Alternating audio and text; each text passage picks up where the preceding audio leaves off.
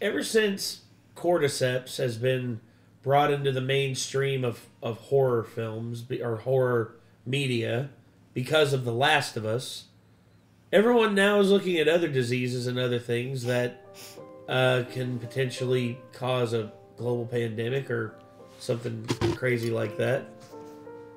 It's like the uh, you ever heard of like the zombie uh, like the zombie brain worms that are affecting moose up in Canada? Yeah, I've heard about that. Yeah. Basically, these worms attach themselves to the brain of the moose, and it turns them into a violent, just like like thing that acts out until eventually, like the moose starves to death. I don't think I have it all memorized anymore, but Leucochloridium paradoxum, or the Ah, green yes. brood sac, is a parasitic flatworm that uses snails as an intermediate host. If you can't tell, Nick used to be in a band called Paradoxum, and he had to recite that at almost every time they started their show. Yeah.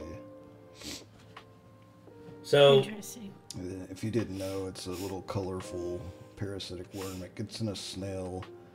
It basically poofs into the snail's eye stalks. So it blinds the snail, and the snail can no longer tell the difference between light and dark, so it'll remain out during the day when normally it would be going somewhere safe. That makes it an easy target for birds. And then the little worms will pulse around in the eye stalks, and they look like a little colorful caterpillar. And that will make the birds even more likely to be like, ooh, caterpillar. And they'll grab the snail and eat it, along with the paradoxum, uh, or the green banded broodsac. And then the birds will have the eggs in their stomach, which they will then poop back down. And snails eat bird poop, if you didn't know that. So, the the cycle again. repeats. It's it's literally like an endless cycle of just just craziness. It's similar to cordyceps, but it's I don't know. So what happens The, if the a- brood sacks are just prettier than cordyceps. Not I mean, like, Yeah. so what if a predator eats the bird before it poops? I would guess that it kind of fucks it all up, but also don't know for sure. Never really looked that far into it. Yeah. But if you don't know, cordyceps is a is a is a type of fungus, type of mycelium, like a mushroom, that basically uh, corrupts the brain of the host. Which is usually an ant. Yeah, but it's actually they found it in grasshoppers, moths, and okay. Other types of insects too.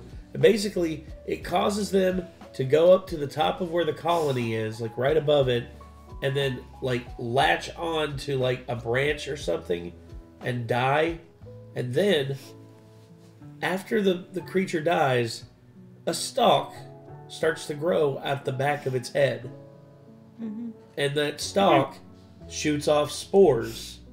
And those spores, when ingested by other insects, basically gets like the mycelium takes over whichever insects like uh, like takes in those uh, spores, thus spreading like spreading it.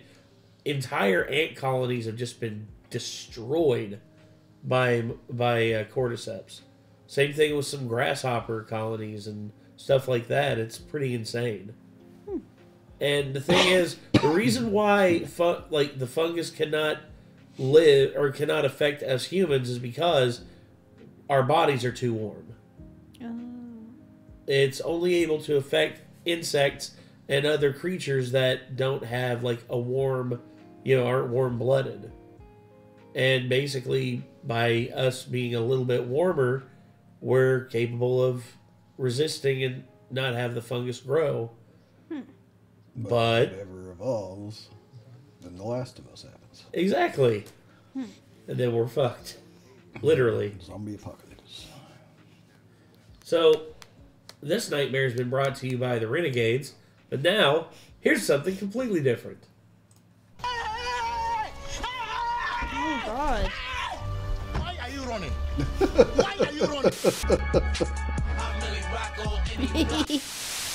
Ah, spooky season. You knew this was coming. We're always talking about all the ways nature and the things that can put you on a shirt, but we never talked about how diseases can have animals permanently parallel to the ground.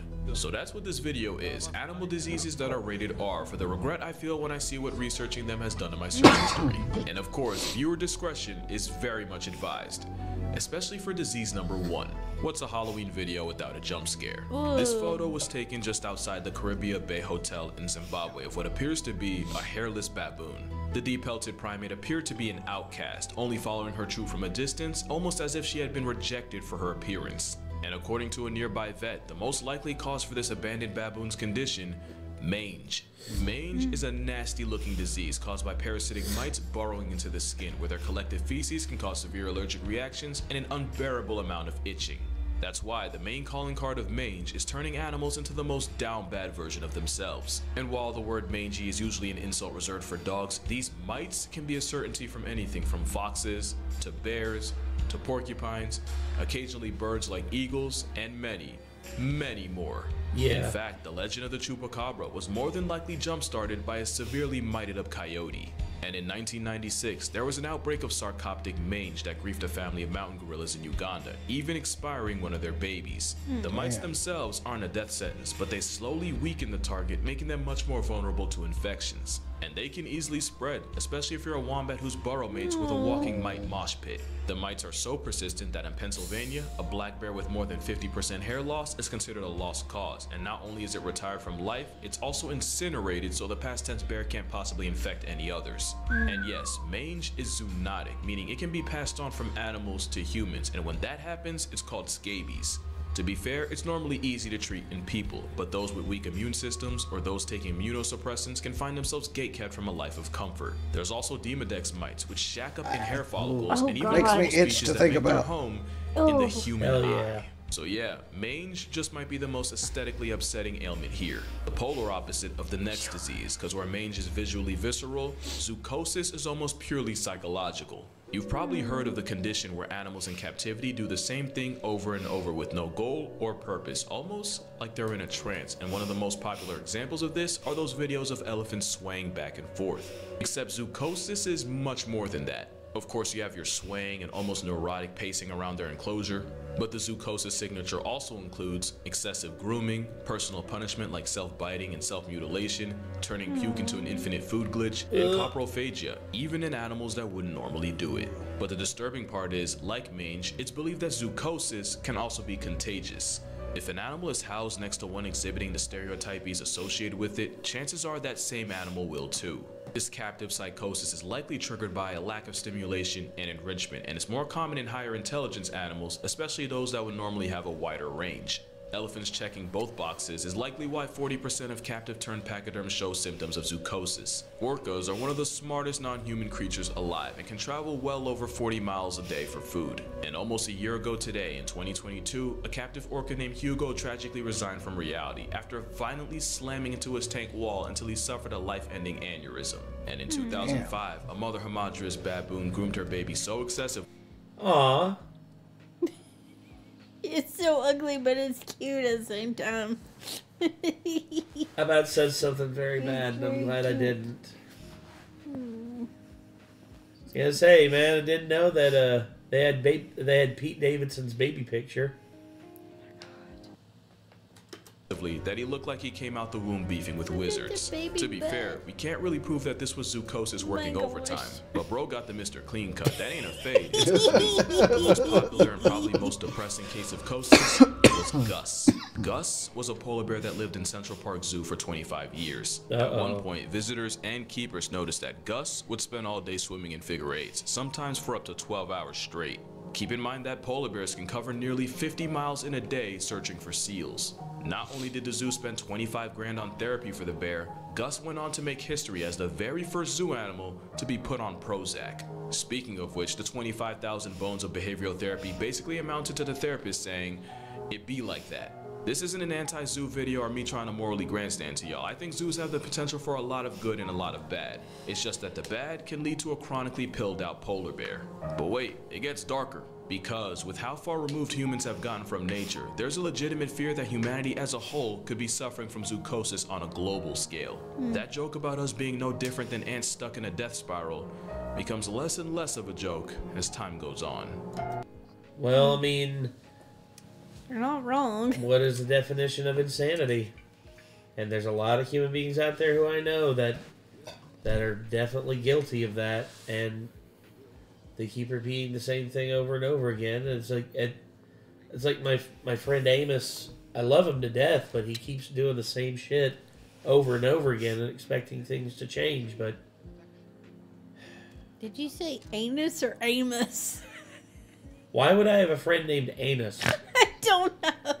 Amos. A M O S. Sorry. We usually just call him famous. Okay.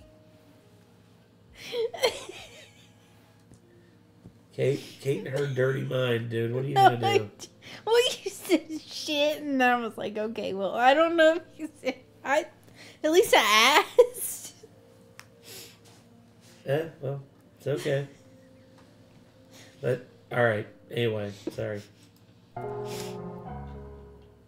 Do you remember the Will Smith movie I Am Legend? You know, Yes. before his wife publicly neutered him and then smoked both his family jewels in two packs? Well, the post apocalyptic movie started with a doctor attempting to re engineer the measles virus in an attempt to find a cure for cancer, instead, infecting 99% of the human race. A pretty good example of what can happen when humans try to play God with the natural order. Another example is what happened in Florida, specifically Silver Springs State Park. It's Florida's very first tourist attraction, famous for having a couple Tarzan movies shot there. And in the 1930s, tour boat operator Colonel Tooey was looking for a way to spice up his jungle cruise ride. So he brought in six rhesus macaques and had them placed on a small island in the park. And it was at this moment they fed up. Apparently, nobody involved was told that the monkeys could swim, and the moment they touched down on dry land, the macaques proceeded to swim out to the mainland. And following lots of multiplying without a calculator, there are now currently hundreds of rogue macaques, with a good number of them carrying a deadly herpes virus. Herpes B is an incapacitating condition that can cause severe brain inflammation, permanent neurological damage, and a permanent lease in a casket shaped condo.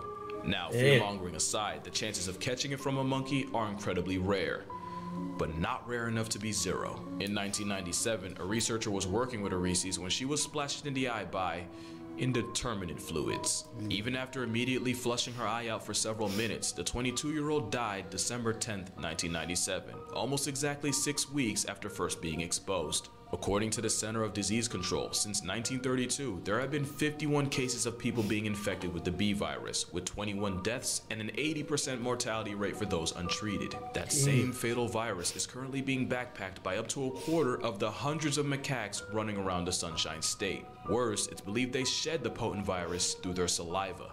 So far, there's no known case of one of these Marion County monkeys passing off the virus to a human. The problem is, the monkeys have managed to lose their natural fear of humans, and there was even one incident where the park had to be shut down after a family was threatened and chased by an especially malicious macaque. It's the worst kind of invasive, and it's 100% our fault, and although the virus peddling primates haven't caught a human body, it's definitely one of those cases of F around and find out.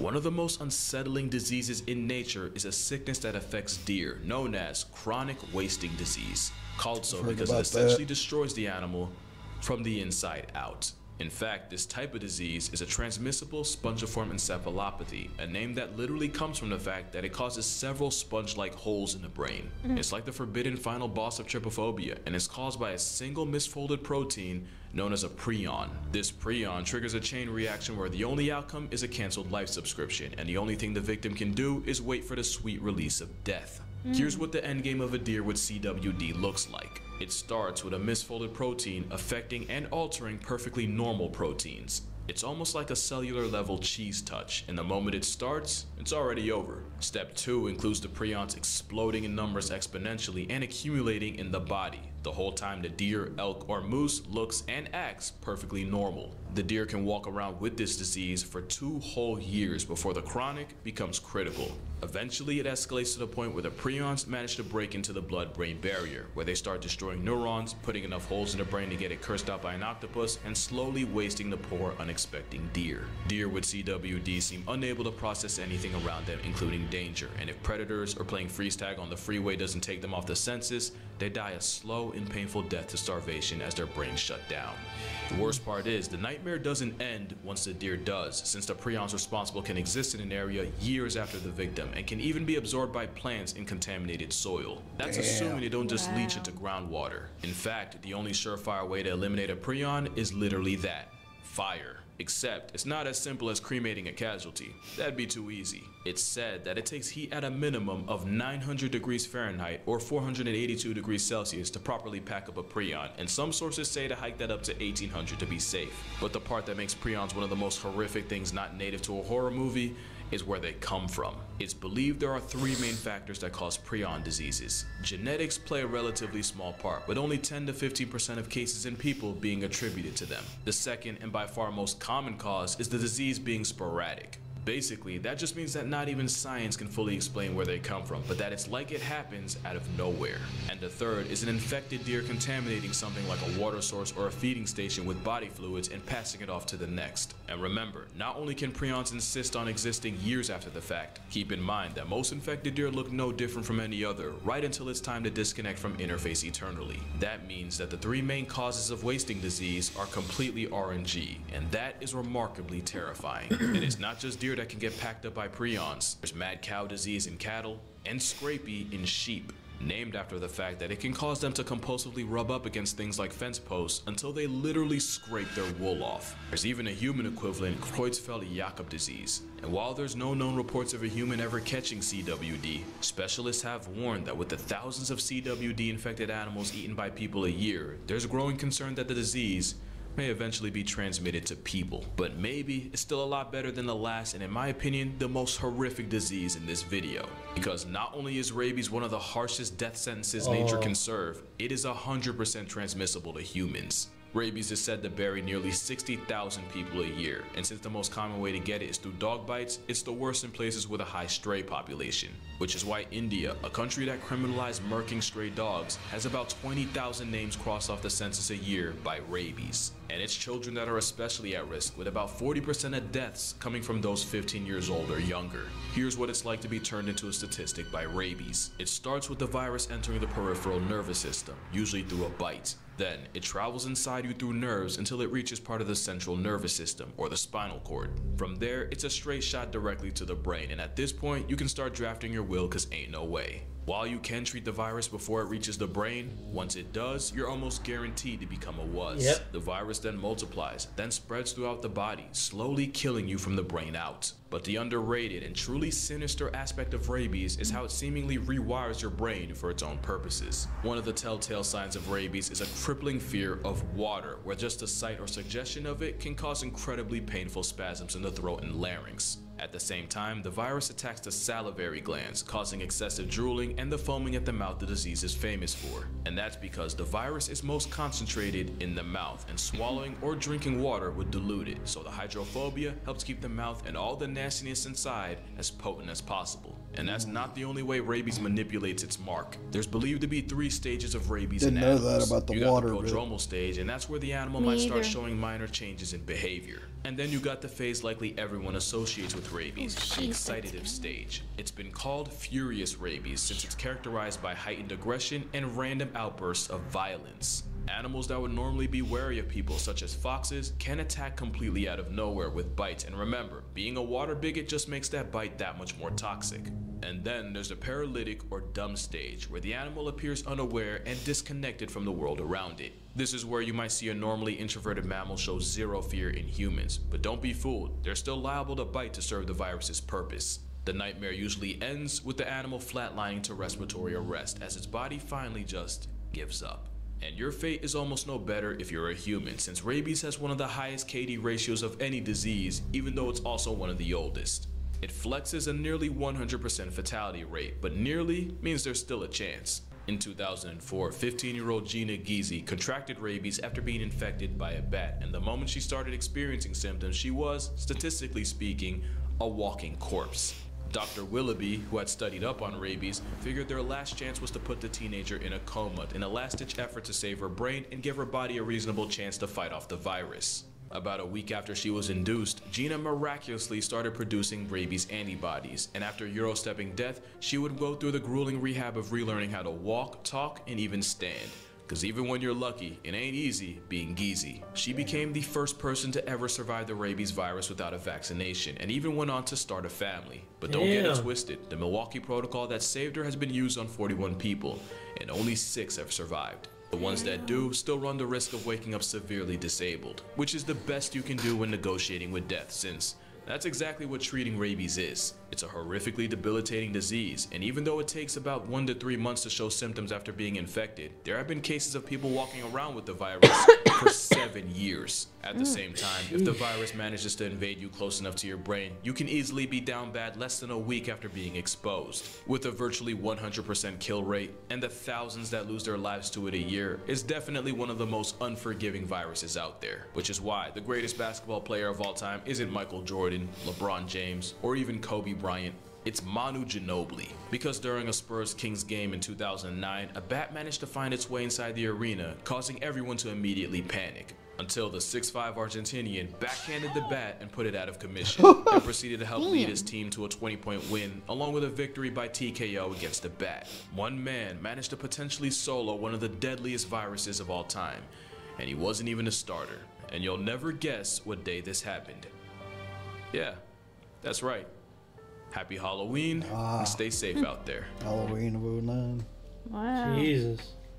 I, I remember that, that story about Manu Ginobili smacking the shit out the bat. But I, I couldn't remember when that happened.